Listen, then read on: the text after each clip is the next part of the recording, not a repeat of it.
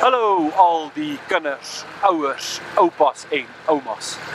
Ons is besig om te bou aan ons verhouding met die Here en met mense. En hier kan ons nou sien is my swaar besig om 'n gat te grou. En julle kan sien dat dit 'n groot masjien is wat besig is om te werk. En as julle mooi kyk, sal julle sien dat my swaar wiekus daar binne-in sit en dat daar allerhande liewers is wat hy trek wat gekoppel is aan pypies en al daardie dinge werk saam om hierdie groot arm en bak te laat beweeg om uiteindelik 'n gat te kan grou. En weet julle, dit laat my dink aan iets belangrik in die lewe. En dit is keuses. Weet julle, ons keuses beïnvloed ons hele lewe.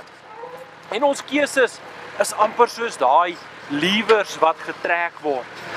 Jy weet, as jy die verkeerde liewer trek in die verkeerde rigting in, dan gaan daai arm iets heeltemal anders doen as wat hy veronderstel is om te doen. Net so as ons verkeerde keuses maak in ons lewe, dan het dit 'n hele uitwerking op ons lewe. Dan gaan alles ook nie lekker saamwerk nie. So ons moet seker maak dat ons in die lewe die regte keuses maak. Nou ja, ek sien julle volgende keer.